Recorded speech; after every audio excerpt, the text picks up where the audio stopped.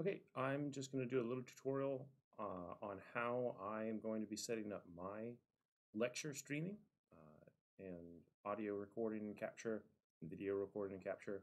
Um, those of you that don't have a big background with recording stuff, neither do I. I had, so if I've done anything in here that's weird or wrong, please correct me, and I'm happy to always improve my, my lectures as well. Uh, I'm going to be using OBS Studio. Um, you can download OBS, it's free. Uh, just go to obsproject.com and download whatever version works for you. Um, when you do that, make sure that you go and download a the virtual cam plugin for it as well. Um, so just make sure this is all open source stuff. I think you can pay for some of it if you want to. Um, make sure you download both of these, you install both of them, um, and then when you do, you're going to have a view that looks an awful lot like this, right? You're going to have a view where you're going to set up a display capture and an audio input capture down here in the sources column. So you're not going to originally see anything, so you have to manually add on it by clicking on this um, the plus symbol down here in the sources. Uh, so once you set up an audio capture and once you set up a display capture, you're going to have a screen very similar to this. Um, you have the option to kind of click on the screen and actually edit how much of the screen you're displaying. So if you're someone that doesn't have two screens or three screens set up um, to, to capture that data, uh, you can kind of only lecture in a portion of the screen and only stream that section out as well. Um, I like to add in a video capture as well. So the, the video capture is just going to be the, the webcam that's on the front of my um, computer. Uh, it is uh, going to be the integrated webcam that's already set up. Um, I don't want to be that large. I don't want to take up that much room. So I'm just going to click on that, that corner and uh, move it over. And then by pressing the Alt key and then grabbing on different sections, I can actually alter what portion of the camera is actually going to be displayed. So I can change the size of my uh, picture in the corner. Um, you may or may not be able to see that it's kind of phasing out this green background that I have in the background. I've done that by clicking on the uh, clicking on the video capture device, adding a filter.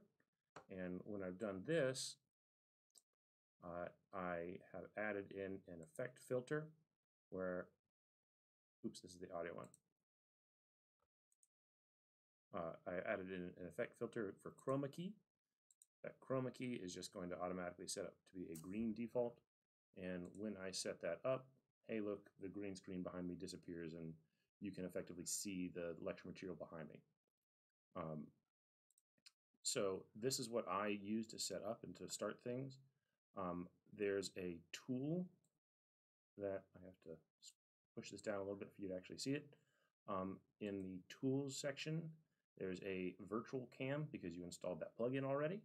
Um, I'm going to start that plugin. I don't want to do any horizontal flip or anything. Um, and the target camera that it's going to be capturing the images that are being displayed through OBS is going to shoot it out through something called the OBS camera. I'm going to start that. So when that is has been started, I'm now going to only be uh, capturing the information that is on one of my screens. Um, you may need to change it, right? If you just search for removing background noise, right? There's a bunch of people that have gone through the same sort of thing to try and change background noises. If you're near an air conditioning system or a radiator or something like that, you can filter out all of that old noise.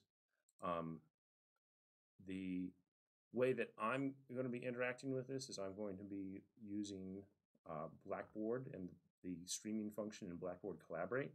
So if you just get to your Blackboard Collaborate Ultra, uh, it is set up um, if you just enter into any room in Blackboard Collaborate, uh, whatever room you have set up already. My green screen's a little, I need to fix it a little bit. It's a little bit not, not super green and screen for me. Um, rather than where I would normally lecture, I turn on my video here. Um, rather than doing it that way,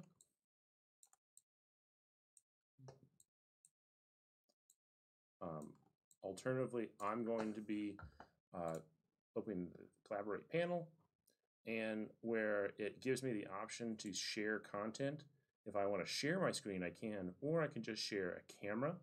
And by clicking on that camera, I could be going particularly, that would be using my web camera, or because I've set up that virtual cam, it is feeding me out the OBS um, image.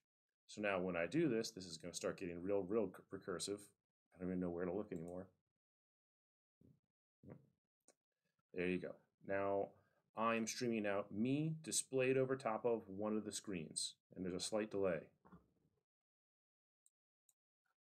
God, where's my mouse?